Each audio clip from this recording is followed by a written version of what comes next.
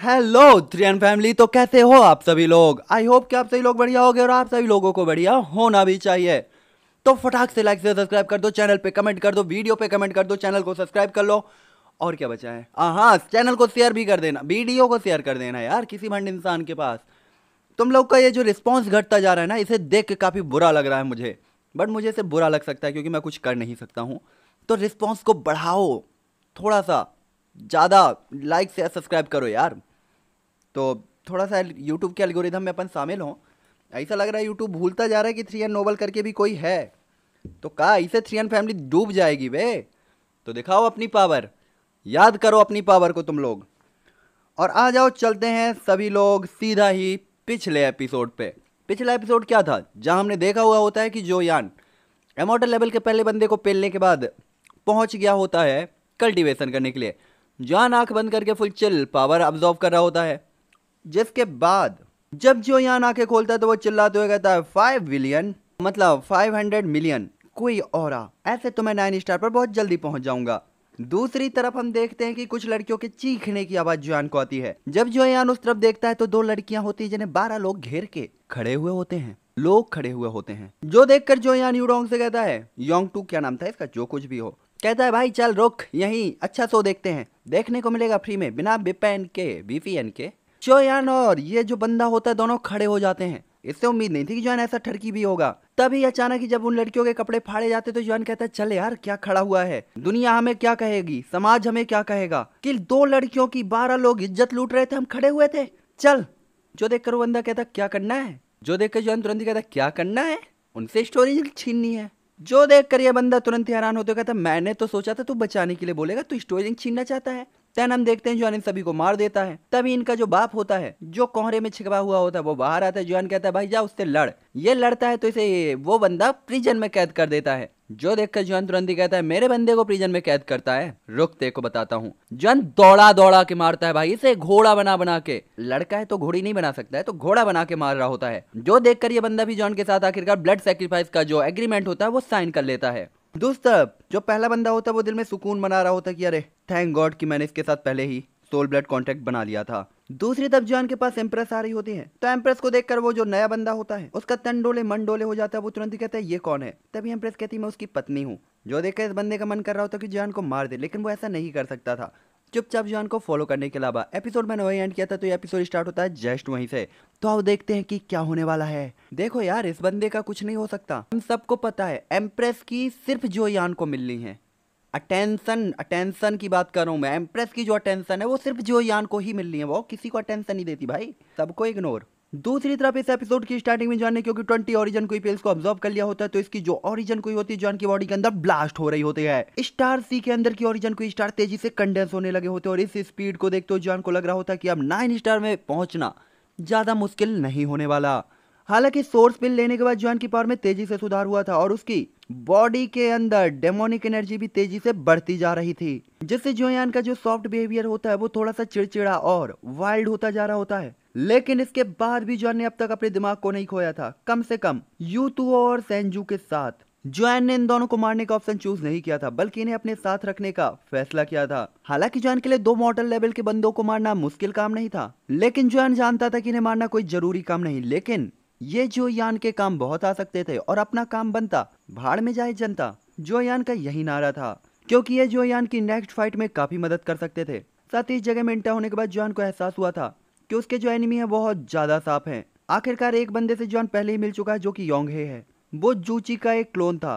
साथ ही बेचारा सोच रहा होगा कि उसे जो यान को उसकी आइडेंटिटी नहीं पता, लेकिन एम्प्रेस ने पहले ही उसे रिकॉग्नाइज कर लिया था। इसलिए योंग यहाँ पे एक पॉसिबल एनिमी हो सकता है, लेकिन यह निश्चित नहीं है कि वो एक्शन लेगा भी या नहीं, क्योंकि दूसरे बर्ड्स में हो सकता है कि वो यहाँ पर छुपने के ऑप्शन को चूज़ करे और जो यान को मारने के लिए एक अच्छे मौके का इंतज़ार करे। हालाँकि जॉन इस चीज़ को कंफर्म नहीं कर सकता कि योंगे के अलावा उससे और कौन कौन से पर्सन है जो अपनी टारगेट लिस्ट में रखते हैं? और इनमें से वो दो बंदे हो सकते हैं जो कि ताइक्सू वर्ल्ड से थे, जिन्होंने व्हाइट गॉड आर्मर पहन रखा था। भले ही सेनेक्सी और ताइक्सू वर्ल्ड के अंदर फाइट हो जाए, लेकिन अगर जो ताइक्सू वर्ल्ड के स्ट्रॉन्ग लोगों को खत्म कर सकता है तो ये ताइक्सू की पावर को कमज़ोर करने जैसा ही माना जा सकता था, जिससे जोयान को काफ़ी ग्रेट चीज़ें मिल सकती है जो कि अक्सर देखने में काफ़ी ज़्यादा नॉर्मल लगती हैं। हालाँकि जो यान के साथ एम्प्रेस थी, लेकिन जोयान अगर अपनी पावर के साथ इस प्रॉब्लम को सॉल्व करना चाहता है तो अब जोयान के पास पहले से ही दो एमोटल लेवल के बंदे हैं। तो अपनी पावर के अलावा इस तरीके की जगह पर स्ट्रॉन्ग बनने के लिए जोयान को अपने आसपास की पावर को भी स्ट्रॉन्ग करना होगा। बेशक इसके अलावा जोयान यहाँ पर आने का उसका असली मकसद अपनी ताकत को बेहतर बनाना है। अगर जोयान के पास नाइन स्टार फाइटिंग गॉड में हाफ़ स्टेप है और या फिर वो नाइन स्टार पर ब्रेक थ्रू कर लेता है तो फिर एमोटल लेवल की जो डिस्टेंस है वो और कम हो जाएगी। और जोयान को जल्द से जल्द इस डिस्टेंस को ही तो कम करना था। साथ ही टाइम तेज़ी से बीतता जा रहा होता है और इस टाइम पे जोयान ने पाया था कि 500 साल बीत चुके हैं, लेकिन हेवन ह्यूमन मैंसन के अंदर कोई जून, उसकी मेमोरी तेज़ी से कम होती जा रही थी। हालाँकि इस सिचुएशन में जॉन कोई ज़्यादा मदद तो नहीं कर सकता था, लेकिन काफ़ी अलर्ट था। जॉन यही सोच रहा होता है कि क्या ये पॉसिबल हो सकता है कि कोई जून ने कुछ अजीब खोज लिया हो? या फिर हो सकता है कि दो वर्ड्स के बीच के डिस्टेंस के कारण जो कांटेक्ट या कनेक्शन है, वो वीक होता जा रहा हो। लेकिन कोई जून से प्राप्त नई मेमोरी के अकॉर्डिंग हेवन ह्यूमन मैंसन थोड़े टाइम के अंदर अपनी आर्मी को तैयार कर रहा है। साथ ही ऐसा लग रहा है कि वो एशियन डिवाइन रियलम पर अटैक करना चाहते हैं, क्योंकि उनका एशियन डिवाइन रियलम के साथ थोड़ा सा चुटपुट बार फेयर चल रहा है, जो धीरे धीरे टकराव और फाइट में बदलता जा रहा है। जो देखकर जॉन कहता है, ये सा, ये काफ़ी ज़्यादा अजीब लग रहा है। ऐसा लग रहा है कि जैसे कोई बड़ी बात नहीं, लेकिन जॉन को पता था कि ये उस ग्रेट ग्रैंड बैटल की स्टार्टिंग हो सकती है, जो स्टार्ट होने वाला है। आखिरकार हेवन ह्यूमन मेंशन का ताइक्सू बेल्ट के साथ कांटेक्ट है। और वो अंदर ही अंदर सेनेक्सी को तोड़ने की कोशिश करने की पूरी ताकत लगाकर ट्राई कर रहे होते हैं और आउटर सपोर्ट भी दे रहे होते हैं। जो देखकर जुआन तुरंत कहते सिचुएशन बिल्कुल भी सही डायरेक्शन पर नहीं चल रही। टैक्सू वर्ल्ड का अटैक तो पहले से ही डिसाइडेड है, लेकिन इसमें अभी भी कुछ टाइम की बात है। जोयान के पास सबसे ज़्यादा जिस चीज़ की कमी थी बेशक, कुछ चीज़ें हैं जिन्हें टाइम के साथ जोयान उनके ऊपर नहीं छोड़ सकता मतलब टाइम के ऊपर नहीं छोड़ सकता। जैसे कि पावर और ग्रोथ आखिरकार जोयान को जूची से वर्ल्ड एनर्जी को वापस लेना है, क्योंकि सेनेक्सी वर्ल्ड की वर्ल्ड एनर्जी पहले ही डिवाइड हो चुकी है। क्योंकि जोयान अपनी पावर को जल्दी नहीं सुधार सकता, इसीलिए उसे वर्ल्ड पावर को हासिल करके अपनी पावर को सुधारना होगा। आखिरकार ग्रोथ करने में टाइम लगता है, और जोयान अगर इस लेवल पर पहुँच पाया तो वो पहले से ही काफ़ी अच्छा माना जा सकता था। जोयान तुरंत ही कहता, मैंने कड़ी मेहनत की है, लेकिन मैं कभी भी स्पीड से सक्सेसफुल नहीं हासिल स्पीड से सक्सेस हासिल नहीं कर पाया। कम से कम कल्टीवेशन के प्रेजेंट टाइम की स्पीड को देखते हुए जुआन जुआन टियान ट्रूरियलम के अंदर बचे हुए टाइम के अंदर मोटर लेवल को ब्रेक थ्रू करना अभी भी मुश्किल होगा। तब तक जब तक कि मैं जूची से वर्ड एनर्जी को वापस नहीं ले लेता, साथ ही अब फाइट ने स्टार्ट होना शुरू कर दिया है और जूची ने अपना क्लोन भेजा है। मुझे लगता है कि उसे कुछ अजीब महसूस हुआ होगा, लेकिन वो अंधेरे में रहकर इसे महसूस कर रहा है। क्या ये एक खतरनाक फाइट की दस्तक हो सकती है मेरे दरवाजे पर? जो यान के सेंसेस पहले से ही उसे गलत फीलिंग दे रहे होते हैं। हालाँकि, अगर जोन फाइट में जाता भी तो east west north south empress की नज़र हर जगह पर थी, यहाँ तक कि हंटर गॉड पैलेस में भी। हालाँकि, जूची ने एट एमोटल गॉड्स को भी भेजा था, लेकिन जब तक उसने जो यान को नहीं देखा था, वो एकदम कंफ्यूज था। लेकिन जब उसने जो यान को देखा तो वो एकदम शौक हो गया, क्योंकि एक जैसा चेहरा होना कोइंसिडेंस नहीं हो सकता। लेकिन फिर भी जूची को अभी भी समझ नहीं आया था कि जो यान का ओरिजन आखिरकार क्यों है। या फिर उसका जो यान के साथ किस तरीके का कनेक्शन है? इस चीज़ ने जूची को काफ़ी हैरान कर दिया होता है, लेकिन जो यान के ओरिजन ने उसे पहले ही हेल्पलेस महसूस कराया था। और वो बस जोयान को खत्म करने के लिए कार्रवाई करना चाहता था, लेकिन वो हमेशा एम्प्रेस की सिचुएशन से डरता था। आखिरकार उसे पता था कि जोयान की लाइफ को एम्प्रेस प्रोटेक्ट कर रही और एम्प्रेस के सामने जोयान की लाइफ को छीन पाना इम्पॉसिबल था। इसीलिए जूची एक टेस्ट के लिए आया था। और जब उसने एम्प्रेस को जोयान का पीछा करते हुए देखा तो उसने पहले से ये थॉट छोड़ दिया था।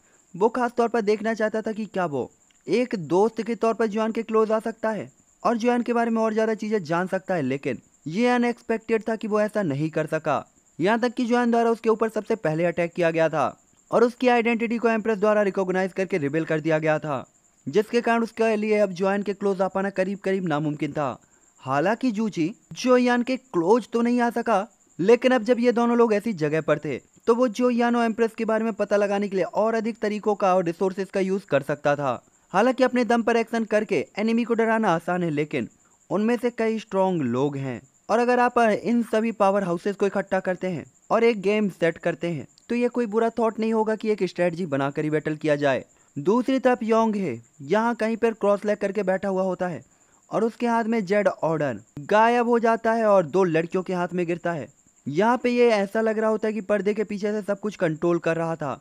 यहाँ तक जो यान को भी नहीं पता था कि सेंजू की प्रेजेंस एक कोइंसिडेंस नहीं होती, बल्कि एक स्ट्रैटेजी होती है, जिसके बाद ये जो दो लड़कियाँ होती हैं, देखती हैं कि जॉन कल्टीवेट कर रहा है तो वो एक दूसरे को देखते हुए जो यान के क्लोज जा रही होती हैं, साथ ही इनकी ब्यूटी ये काफ़ी ब्यूटीफुल और काइंड लग रही होती हैं, लेकिन एम्प्रेस की कातिलाना नज़रें इन दोनों लड़कियों पर पड़ती हैं, जो देखकर लड़कियाँ चौंक गई होती हैं। हालाँकि उन्होंने इसे अपने चेहरे पर नहीं दिखाया था आखिरकार ये भी ओल्ड मॉस्टर थी जो अनगिनत बरसों से ज़िंदा थी। इसीलिए उन्होंने अपने साइकोलॉजिकल इमोशंस को कंट्रोल करना सीख लिया था। तभी दोनों लड़कियाँ साथ आते हुए कहती क्या हम एक साथ चल सकते हैं? तभी यूतू और सैनजू एकदम चुप होते हैं। जहाँ तक सैनजू की बात होता है तो वो इन दोनों लड़कियों की तरफ़ देखता और फिर इन्हें इग्नोर मार देता है, क्योंकि उसने एम्प्रेस को देख लिया था और एम्प्रेस के बाद।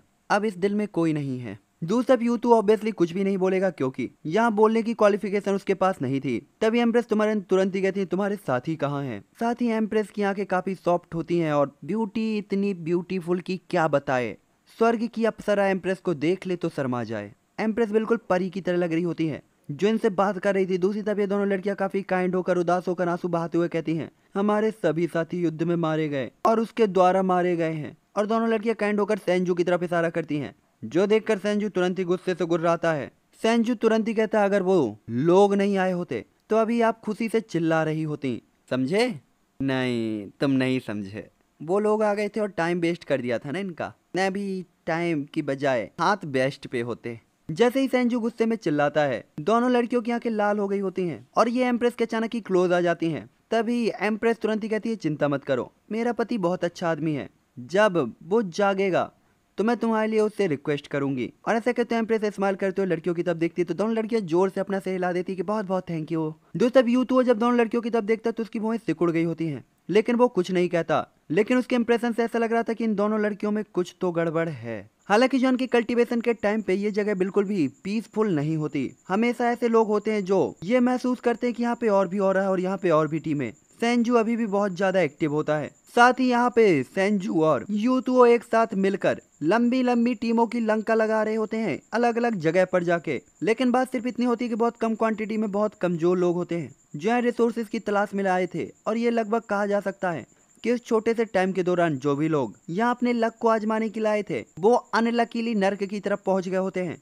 केवल कुछ ही लोग थे जो प्रेजेंट टाइम की सिचुएशन को समझ सकते थे और वास्तव में इस जगह पर सरवाइव कर सकते थे। कमजोरों के लिए अपनी पावर को बढ़ाने के लिए ऐसी जगह बिल्कुल भी नहीं है, जहाँ पे स्ट्रॉन्ग लोग भी आने से डरते हो, क्योंकि यहाँ किसी का भी कभी भी शिकार हो सकता है।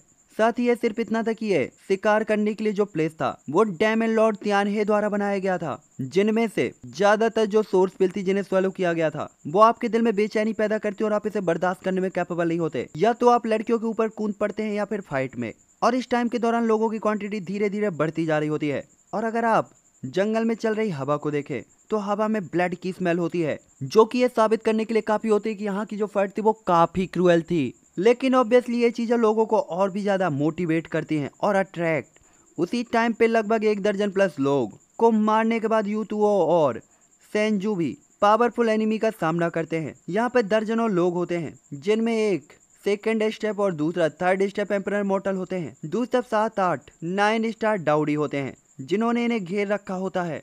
हालाँकि इस टाइम पे ये सात आठ लोग बिल्कुल भी टाइम बर्बाद नहीं करते और सीधा ही उन दोनों के ऊपर अटैक कर देते हैं। क्योंकि मौजूदा सिचुएशन ऐसी थी तो उन लोगों के पास अब दो ही ऑप्शन थे। या कि वो लोग डरेंगे, या फिर लड़ेंगे। तभी यू तो तुरंत ही कहता है, हट जाओ। और अपने दांत पीसते हुए महसूस करता है कि जो सिचुएशन थी उसमें कुछ गड़बड़ है। हालाँकि ये दोनों ही लोग आठ लोगों का सामना कर रहे होते लेकिन जीत की जो पॉसिबिलिटी थी वो काफ़ी कम थी। यूतुओं ने अपनी उम्मीदें नहीं रखी होती, किसी भी आउटर पर्सन पर। तभी सैनजुओ तुरंत ही कहता है, पीछे मत हटो। मेरे साथ आओ। क्या फ़र्क पड़ता है अगर ज़्यादा लोग हैं? यह कौन सी बड़ी बात है? और ऐसा कहते हुए सेंजो तुरंत ही हैवी जवान रूलर को अपने कंधे से बाहर निकाल लेता है। तभी यू तो तुरंत ही कहता है, पहले पीछे हटते हैं। उनमें से बहुत सारे इसीलिए। एक, टफ फाइट करने की कोई ज़रूरत नहीं, क्योंकि अगर वो लोग हार भी जाते तो उनके पास पीछे हटने का टाइम होगा, लेकिन हमारे पास नहीं। तभी सेंजू तुरंत ही कहता है तो जाओ और किसी को बुला कर लाओ। तब तक मैं इन्हें रोकता हूँ। सेंजू की जो आवाज़ होती है, एकदम डीप और गुस्से में बहुत चिल्ला रहा होता है। जो सुनकर यू तो कोई भी टाइम और वक्त बर्बाद नहीं करता और तेज़ी से पीछे की तरफ़ चला जाता है। दूसरा सैनजू तुरंत ही आगे की तरफ़ दौड़ पड़ता है और अगले ही पल पैर के नीचे से धूल उड़ती है और यहाँ उसकी फिगर बिल्कुल पहाड़ से उतर रहे बाघ की तरह होती है, जो इन आठ लोगों को बिना किसी डर के देख रहा होता है। यहाँ तक कि इन आठ लोगों को देखते हो आँखों में कोई डर या मौत का खौफ नहीं, बल्कि सेंजू की जो फाइटिंग हुई होती है वो एकदम बौखला रही होती है। यहाँ तक कि उसकी फियरलेस फाइटिंग इंटेंट भी। इस टाइम पे बाकी के फाइटिंग गॉड पीछे हट गए होते केवल। Two star emperor motor level के बंदे ने मोर्चा संभाला होता है। यहाँ पे दो two step emperor motor level के बंदे सुजैन से लड़ने के लिए तैयार होते हैं, जबकि सुजैन एक थ्री स्टेप एम्पर मोटल था, जिसे दो सेकेंड स्टेप के एम्पर मोटल से निपटना पड़ रहा था। हालाँकि ये मुश्किल नहीं है, लेकिन फिर भी सामने के जो दो बंदे थे, उनकी भी पावर वीक नहीं होने वाली थी। आखिरकार वो अगर प्रेजेंट टाइम के इस लेवल तक पहुँच सकते हैं तो उन्होंने भी अपने पीछे काफ़ी हार्ड वर्क किया होगा। हालाँकि सेंजू फिर भी उन दोनों को पीछे धकेलने के लिए अपनी कंप्लीट पावर का यूज़ कर रहा होता है, लेकिन जैसे उसने दोनों को पीछे की तरफ़ धकेला होता है, एक बड़ी सी ब्लैक साइड उसके सिर के ऊपर चमकती है और अगले ही पल वो सेंजू के ऊपर अटैक कर देती है और इस अचानक से तेज झटके के कारण सेंजू की जो आधी बॉडी होती है, वो सीधा ही ज़मीन में धस गई होती है और उसके सिर के ऊपर बिल्कुल एक घोष्ट बॉडी दिखाई देती है और ये पर्सन उस ग्रुप का सबसे स्ट्रॉन्ग पर्सन था, जिसके पास सेंजू की इक्वल ही पावर होती है, यानी मोटर लेवल के थर्ड स्टेप की। हालाँकि सेंजू के जैसा ही लग रहा होता लेकिन इसकी जो फाइटिंग टेक्निक्स होती है, वो काफ़ी अलग थी। शायद ऐसा लग रहा था कि ये फ़िज़िकल बॉडी पर डिपेंड करता है। साथ ही इसकी शकल सूरत भी सेंजू से अलग होती है। इसकी हाइट लंबी नहीं होती है, लेकिन इसका अटैक काफ़ी फास्ट होता है। साथ ही ड्रैगन रोर की आवाज़ भी इसकी बॉडी से सुनी जा सकती है। साथ ही ये थर्ड स्टेप लेवल के एम्पर इमोटल सेंजू को सप्रेस कर रहा होता है। तभी सेकंड स्टेप के दो एम्पर इमोटल लेवल के बंदे भी सेंजू के ऊपर अटैक कर देते हैं। और इस टाइम पे सेंजू केवल अपने दांत पीस सकता था। वो तुरंत यहाँ पे अग्रेसिव होते हुए उन तीन लोगों के अटैकों का सामना कर रहा होता है। लेकिन इन तीनों की जो पावर होती है वो काफ़ी एक्स्ट्रा ऑर्डिनरी होती है और सेंजू की बॉडी में लगातार घाव आ गए होते हैं।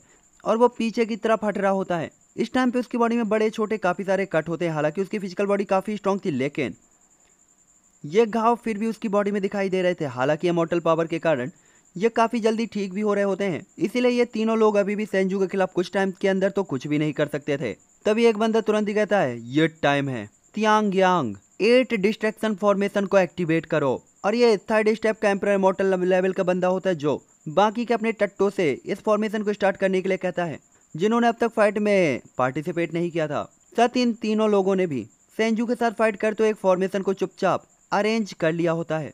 और इस टाइम पे ये तीनों ही लोग एक पावरफुल इमोटल पावर के साथ फॉर्मेशन में गिर जाते हैं। और तीनों लोगों के इमोटल पावर के फ्यूजन के साथ अचानक एक चमकदार लाइट एक साथ फूट पड़ती है, जो कि लाइटिंग स्ट्राइक से भी ज़्यादा तेज होती है। और सीधा ही बहते हुए सेंजू की तरफ़ जाती है।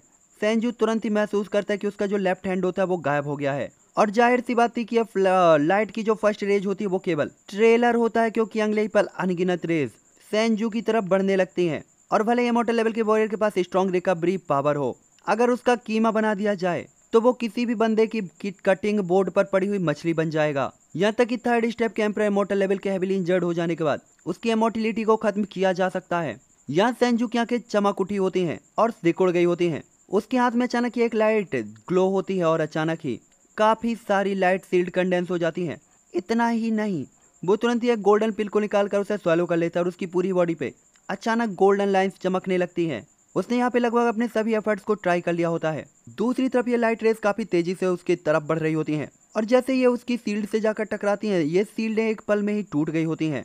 इस टाइम पे सेंजू की भी मोटल पावर बढ़ गई होती है, लेकिन आप इस लाइट को बिल्कुल भी इग्नोर नहीं कर सकते थे। लेकिन सेंजू ने इस रेस को काफ़ी कम समझा था देखते ही देखते जैसे ये लाइट उसकी बॉडी को हिट करती है, उसकी बॉडी के टुकड़े हो गए होते हैं और हवा में केवल एक दिल रह गया होता है, जो देखकर third step camper motor level के उस बंदे के एक थॉट के साथ एक लाइट और उसके हार्ट की तरफ़ बढ़ने लगती है। भले ही इस हार्ट के सेटर होने के कारण सेंजू की मौत ना हो, फिर भी कम से कम उसका पावर लेवल तो बहुत ज़्यादा गिर जाएगा। साथ ही इस लाइट की स्पीड काफ़ी ज़्यादा तेज होती है, लेकिन जैसे ही ये, इस हार्ट को क्रैक करने वाली होती है। एक तेज सीटी की आवाज़ सुनाई देती है और हवा में फ्लेम से जलता हुआ एक जाइंट रूलर सेंजू के हार्ट के पास मडराने लगता है। जैसे ही इस रूलर से वो लाइट जाकर टकराती है तो ऐसा लग रहा होता है कि इस रूलर को वो काट नहीं पा रही। घंटा काट देगी, उसमें हार्ट ऑफ़ फ्लेम दिखाई दे रही है। सुकर कर अभी वीक फॉर्म में स्ट्रॉन्ग फॉर्म में आ जाएगी, पूरा खानदान पेल देगी। दो सब थोड़े टाइम के अंदर ही सेंजू की फटी हुई बॉडी के टूटे हुए धागे एक साथ जुड़ते हुए फिर से खड़े हो जाते हैं और सेंजू की बॉडी क्रिएट हो जाती है। और कम से कम उसके पास पीछे हटने का टाइम होता है। सेंजू का चेहरा पीला हो गया था, वो जानता था कि इस बार वो फाइट में वास्तव में थोड़ा सा लापरवाह था। उसने इस टीम को काफ़ी कम करके आका था। साथ ही यहाँ पे रूलर को देखते हुए न केवल सेंजू, बाल की एनिमी टीम के तीनों ही इमोर्टल लेवल के बंदों की आँखें नम हो गई होती हैं। खास तौर पर वो तीन लोग जो कि इस फॉर्मेशन को कंट्रोल कर रहे थे। उन्हें अपने सामने के सीन पर विश्वास नहीं हो रहा होता। आखिरकार उन्हें अपने इस फॉर्मेशन पर अंधा विश्वास था। आँख बंद करके। यहाँ तक कि नॉर्मल वेपन का तो तुम छोड़ ही दो। भले ही ये वाइब्रेनियन से भी बने हो। और हाई क्वालिटी के ही क्यों ना हो? ये लाइट उन्हें बड़े आसानी से काट सकती थी। लेकिन जिस चीज़ ने उन्हें चौंका दिया था, वो वास्तव में ये था कि ब्लैक रूलर के सामने ये लाइट बिल्कुल अनइफेक्टिव लग रही होती है। और नुक तोड़ना तो दूर की बात, यहाँ एक स्क्रैच भी नहीं किया गया था। थर्ड स्टेप का बंदा तुरंत ही कहता है, ये किस तरीके का आर्टिक्राफ्ट है? ऐसा थोड़ी होता है। हमने इतनी मेहनत से फॉर्मेशन बनाई थी राइटर तुम्हारी माँ की पूजा। ये क्या उल्टी सीधी चीज़ें डालते रहते हो? भाई वो राइटर से ही पूछेगा ना, किससे पूछेगा कि ये सब क्या हो रहा है? वो तुरंत ही कहता आखिरकार ये किस तरीके की चीज़ है? ये कितना पावरफुल हो सकता है? कम से कम इसे बहुत हार्ड होना चाहिए और कुल मिलाकर इसे ब्रेक करना बहुत कठिन। जिसके बाद वो तीनों लोग उस डायरेक्शन पे देखते हैं जहाँ से ब्लैक रूलर आया था। तो वो ब्लैक गोल्डन विंग के साथ एक फिगर को देखते हैं। जॉन यहाँ बीच हवा में लटका हुआ होता है और जॉन के पंख एकदम स्टेबल होते हैं क्योंकि जॉन को अगर आगे बढ़ना होगा तो ये पंख जॉन को टेलीपोर्ट कर सकते थे। तभी तीनों एम्पर कहते हैं, ये है। और जो यान की तब देखते हुए कहते हैं, उनके इम्प्रेशन बिल्कुल सैनजू की तरह थे जब वो पहली बार जोयान को देख रहा था। तीनों लोग एक साथ कहते हैं फाइटिंग गॉड ब्लडी बास्टर्ड इस टाइम पे सेंजो जिसने पीछे की तरफ़ गोली मार दी होती, वो अपनी बॉडी को स्टेबल करते हेल्पलेस तरीके से स्माइल करता है। वो खुद पर हंस रहा था। क्योंकि पहले उसने भी यही रिएक्ट किया था। वो भी सेम बिल्कुल इसी तरीके से एरोगेंट तरीके से। ये तुरंत ही कहता है, मुझे डर है कि ये बाद में समझ जाएँगे कि ये फाइटिंग गॉड नहीं, पप्पा है पप्पा। ये एक ऐसा बंदा है जो थर्ड स्टेप के एम्पर मोटल लेवल के बंदे को सीधे एक पंच में मार सकता है। मुझे तो लगभग यमराज का भैसा दिख गया था। यहाँ तक कि सेंजू को भी नहीं पता था कि जॉन की रियल पावर क्या हो सकती है। भले ही वो पंच उसे हिट नहीं कर पाया था, लेकिन मौत के खतरे का एक स्ट्रॉन्ग एहसास उसे दिया था। तभी जॉन कहता है, गोयान क्या तुम्हारा काम हो गया? जॉन यहाँ इन तीनों के ही इंप्रेशन को इग्नोर कर देता है, जो यहाँ पर हैरान होते हैं, लेकिन हंस रहे होते हैं। तभी एक आवाज़ आती है, तीन तीन सांसों का टाइम दे दो। दूसरा तभी ये जो तीनों लोग होते हैं अजीब तरीके से रिएक्ट कर रहे होते हैं और सीधा ही जॉन के ऊपर अटैक नहीं किया होता, क्योंकि इन्हें लग रहा था जॉन केवल एक फाइटिंग गॉड है। तो सीधे अटैक करने के बजाय थोड़ा इंतज़ार करते हैं और देखते हैं कि क्या हो रहा है। तभी अचानक एक आवाज़ आती है, ब्रेक हो गया। वादे के मुताबिक गोयान की आवाज़ आई थी। जिसके बाद इनके द्वारा अरेंज की गई जो फॉर्मेशन होती है, अचानक ही उसमें फ्लैक्चुएशन होता है और एक धमाका। और उनकी फॉर्मेशन में फ्लैक्चुएशन होने लगता है, साथ ही जिस फॉर्मेशन में ये फाइटिंग गॉड लेवल के जो वॉरियर होते हैं, एक धमाका होता है फॉर्मेशन में और पीछे की तरफ़ चले जाते हैं और इनके बॉडी पार्ट्स खून के साथ बाहर आ गए होते हैं। यहाँ तक कि तीनों मोटर लेवल के बंदे भी हैवीली इंजर्ड हो गए थे। तभी लाइट की काफ़ी सारी रेस कंडेंस होकर अचानक उन तीनों की तरफ़ बढ़ जाती है। और एक पल में उनका जो फॉर्मेशन होता है, एकदम कैओस में बदल चुका होता है।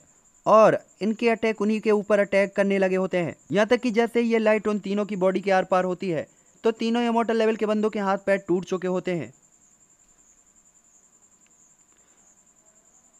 हालाँकि देखते ही देखते इनके टूटे हुए पैर, कटे हुए हाथ तुरंत ही वापस से ग्रो भी हो जाते हैं। लेकिन इस टाइम पे इनका जो दिमाग होता है एकदम हैरान होता है। यह तुरंत ही एक ठंडी फुसफुसाहट एक दूसरे की तरफ़ देखते हुए करने लगे होते हैं। साथ ही जब उन्होंने जो यान की तरफ़ देखा होता है तो उनकी आँखों में काफ़ी ज़्यादा हैरानगी होती है और एक शौक, क्योंकि वे नहीं जानते थे कि जॉन ने यह कैसे किया। लेकिन स्पष्ट तौर पर इसमें कुछ भी गलत नहीं किया गया था। उनकी फॉर्मेशन ब्रेक हो गई थी। इतनी जल्दी कि उन्हें पता भी नहीं चला और रिएक्ट करने का मौका भी नहीं मिला।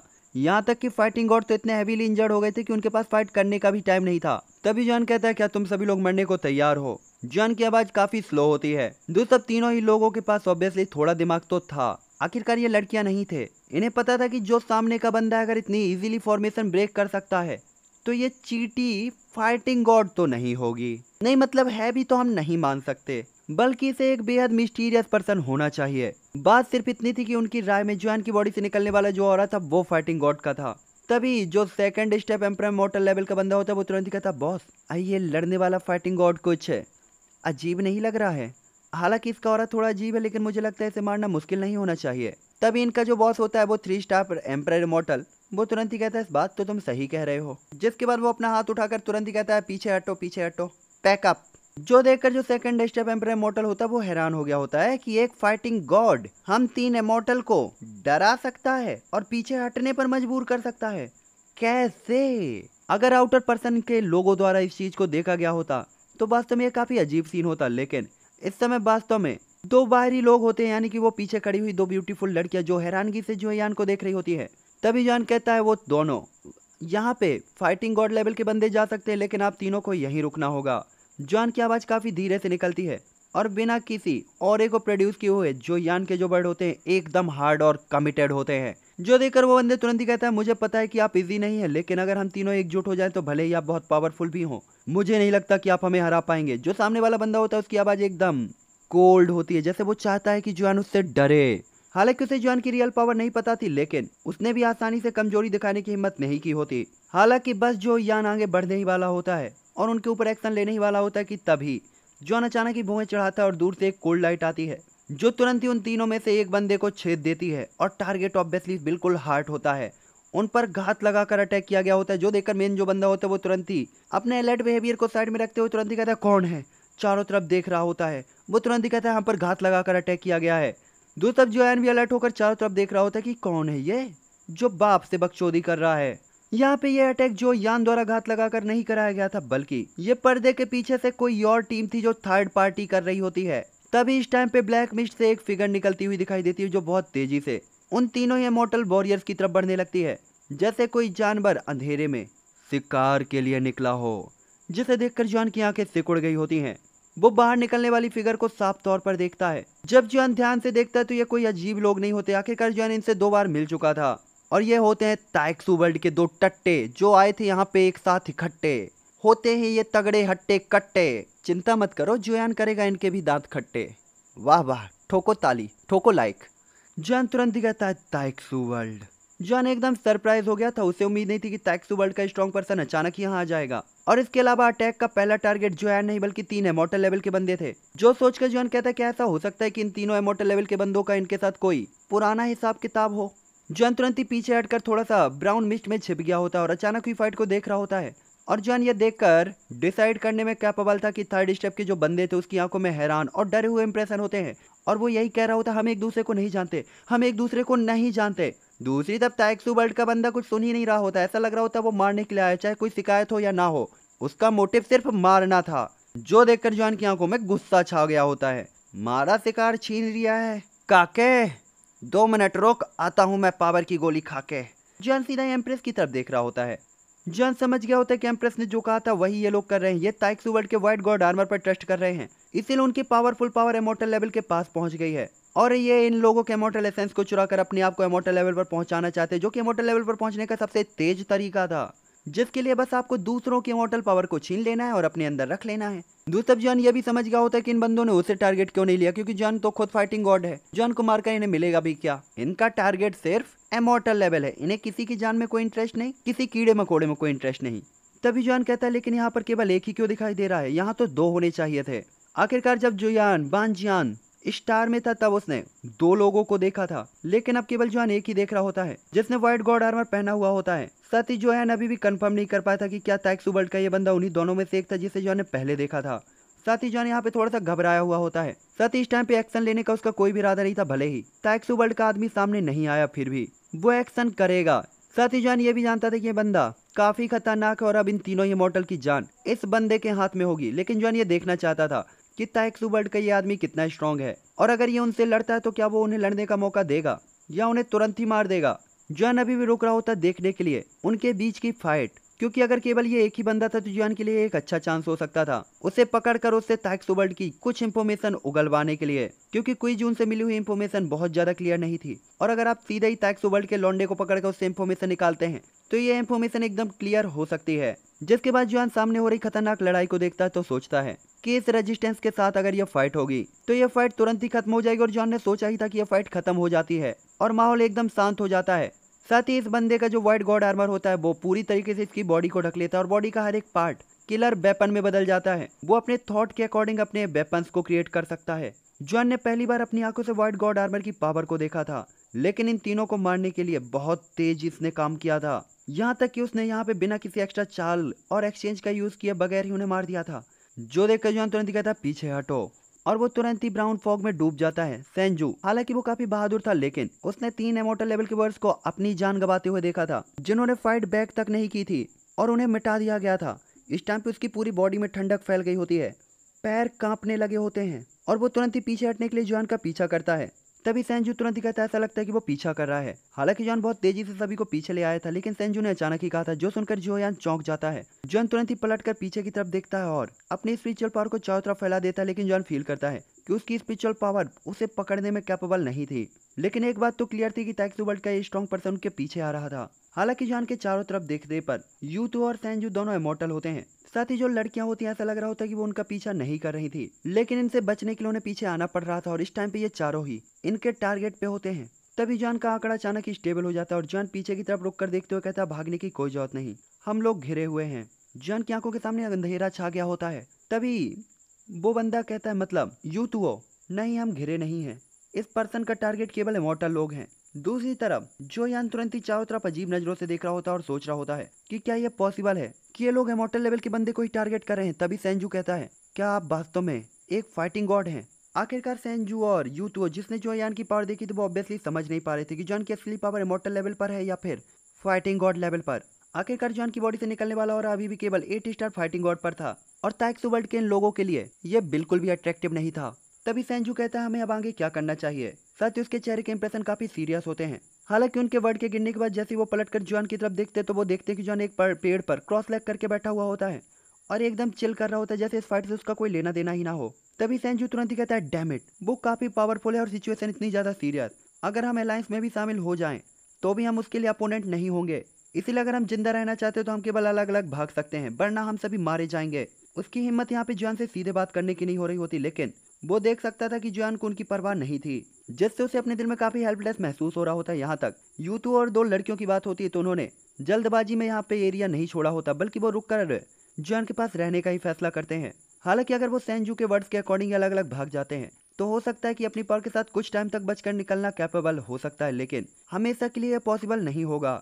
इसलिए बेहतर था कि जोयान के पास ही टिके रहें और उम्मीद रखें। हालाँकि यूतो को यकीन नहीं था कि जॉन मदद करेगा या नहीं, लेकिन भागने पर भी केवल मौत ही थी और रुकने पे भी मौत। इसलिए वो केवल अपने आप को जॉन के लक के अकॉर्डिंग कर सकता था कि भाई, मैं भाग भरोसे हूँ।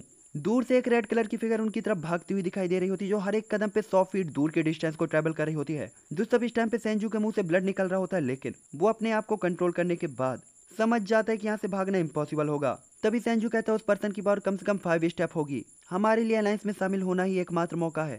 सेंजू को पता था कि दोनों के बीच की पावर में अब काफ़ी बड़ा गैप है, और वो उसे नहीं हरा पाएँगे। इसलिए वो सभी को मोटिवेट करता है फाइट के लिए।